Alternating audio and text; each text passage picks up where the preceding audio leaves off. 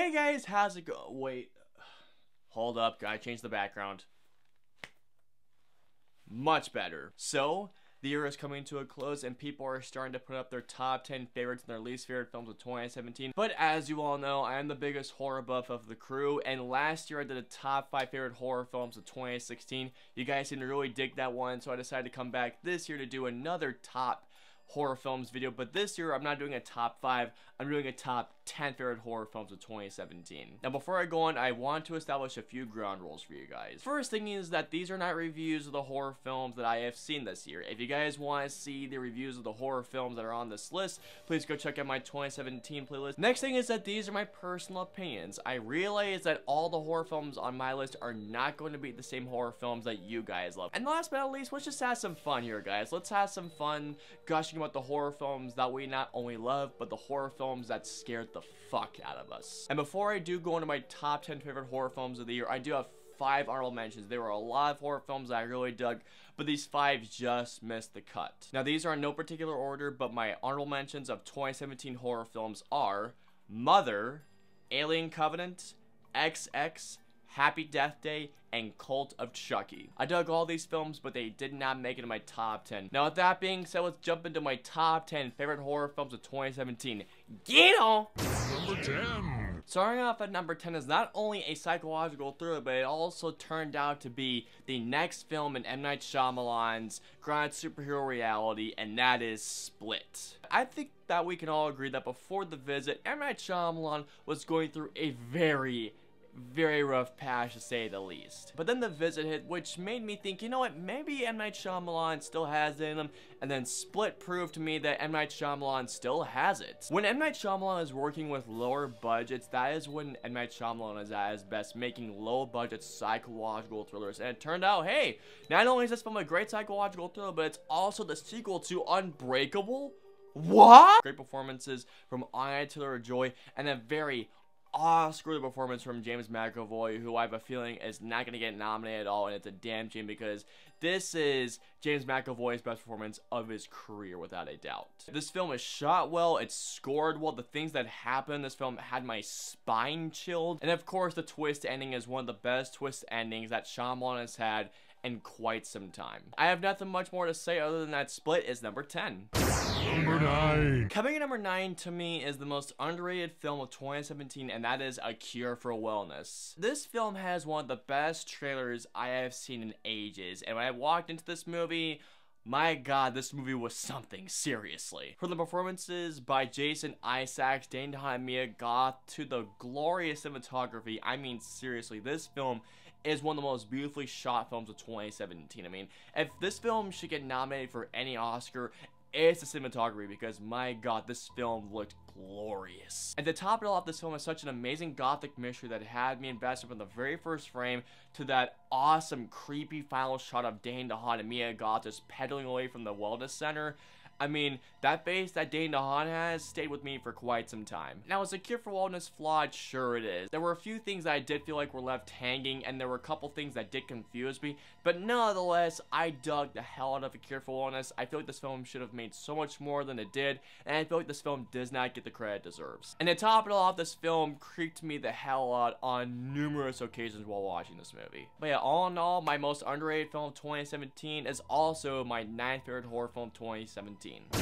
Number 8. Coming number 8 is a film that I wish had gotten a theatrical release because this film is such a different found footage horror film for the rest of the pack, and that is The Dark Tapes. And this was my most anticipated horror film of 2017, so as you can imagine, I was highly looking forward to this film. The best way I could describe The Dark Tapes like this, it's pretty much VHS 2, but with a much, much, much lower budget. Like, I think this film cost, I think, 15 to 20 grand to make and for that budget the filmmakers did an amazing job for what they could have done with this film. The thing like about the dark tapes the most is not just the variety that this film has with each subgenre of horror but how it plays out. You feel like this film is gonna go one way and then it just turns on you. Like for example the ending of the first tape still gets me to this day and the ending of the entire film i was just like okay that was cool. There were a lot of occasions that the film did scare the crap out of me, and not to mention this film doesn't have a single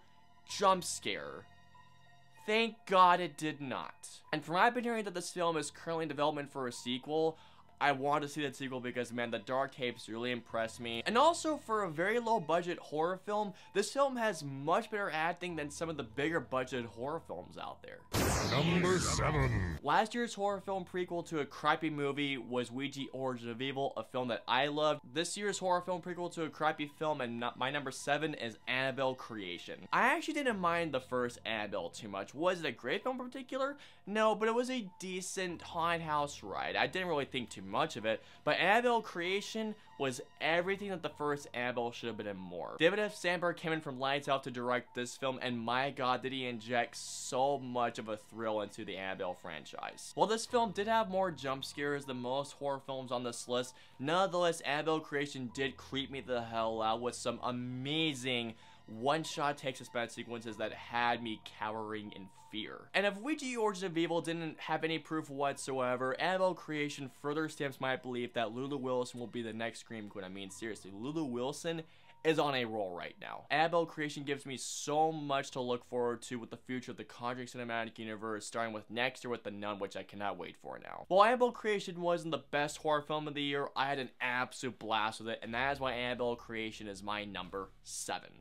Number 6. Coming in my number 6 is the weirdest psychological thriller I have seen in years, and that is The Killing of a Sacred Deer. Now, to put it in simple terms, The Killing of a Sacred Deer fucked me up so much mentally. The Killing of a Sacred Deer is such a different psychological thriller in that this movie plays out unlike any thriller I have ever seen before. Just from how the plot plays out and how it goes along, the more it goes out, the more unsettling and the more just like, what the fuck did it get me going constantly. Now, while the performances by Colin Farrell and Nicole Kidman are great, it's the performance by Barry Keoghan that I'm going to remember from years to come because while Barry Keoghan gives a very monotone performance, his presence and just how he comes off was so sinister that every time he was on screen, I cringed and I was like this. Who the fuck is this guy?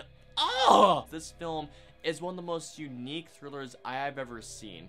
And the only reason why this film is not higher on my list is because the film I do feel like is a tad too long and is a one and done because the film just messed me up psychologically. But nonetheless, Killing of a Sacred Deer is one of the most unique psychological thrillers I have seen. I dug the hell out of it, and that is why it is my number six. Number 5. Alrighty guys, I'm ready for the Are you kidding me? comments because while this film was loved by the critics, the audiences despise this film. However, I'm with the critics that loved it because coming number five for me is It Comes at Night. This film from moment one had me absorbed. While I'm not gonna lie, this film has a very paper thin plot.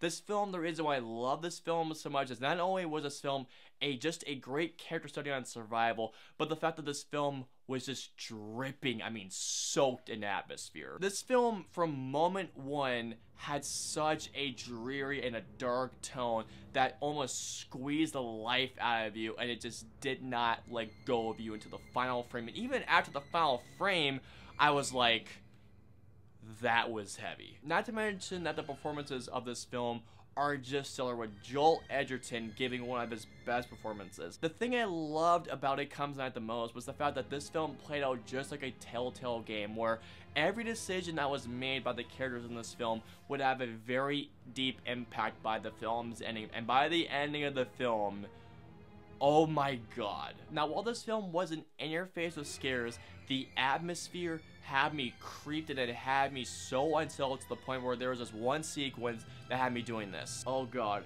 Oh god. Oh, oh shit! Number 4. Coming number four, guys, is the horror film that I call the horror film for audiences, and that film is Get Out. Now, the reason why I love Get Out so much, not only because I feel this film completely subverted the horror genre, but because it tackles not only social commentary, but racism in such a smart manner. And you guys know what I'm talking about, that one plot twist that I know everyone was just like, holy shit. And not to mention, this film was so damn hysterical. And I call this the horror film for audiences because horror films the past so many times, audiences have yelled at the screen because the main characters have made the dumbest decisions where pretty much where the main character is the audience. But no, seriously, Get Out is such an awesome horror comedy because this film is hysterical. And I hope that this film does get an Oscar nomination for Best Original Screenplay because I haven't seen a horror film done like this in ages. Jordan Peele did an amazing job for his directorial debut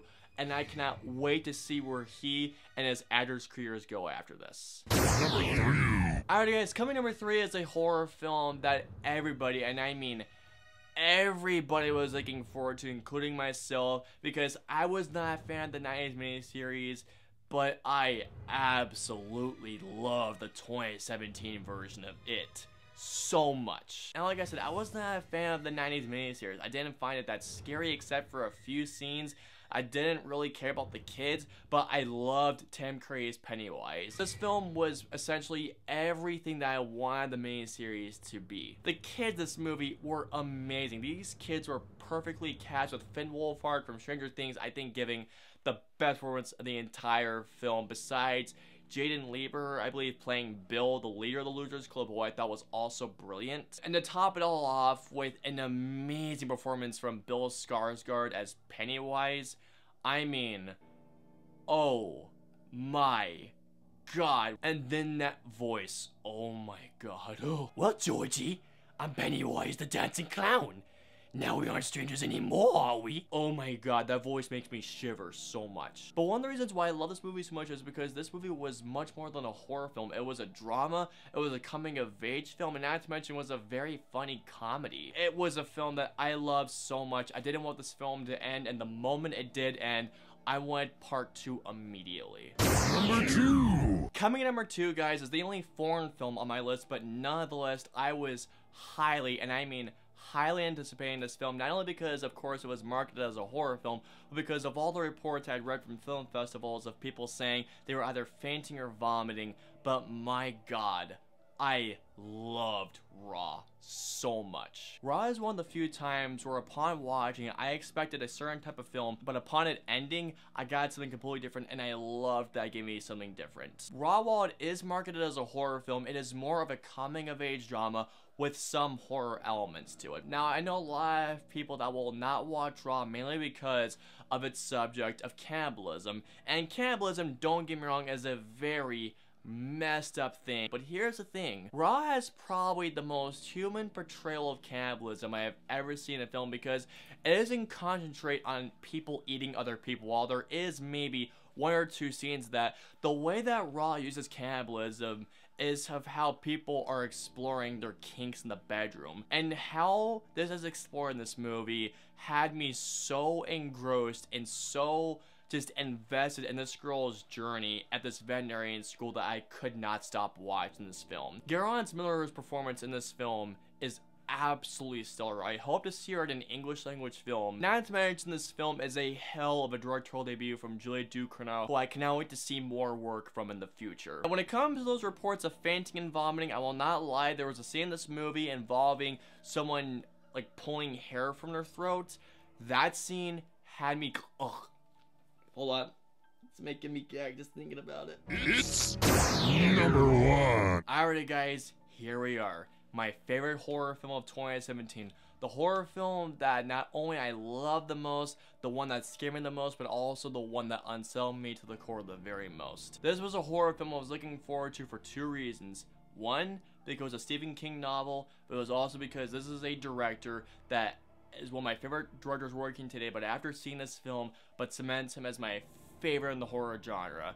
My number one favorite horror film of 2017 is Gerald's Game. Mike Flanagan is a master of the horror genre. He is a god of the horror genre.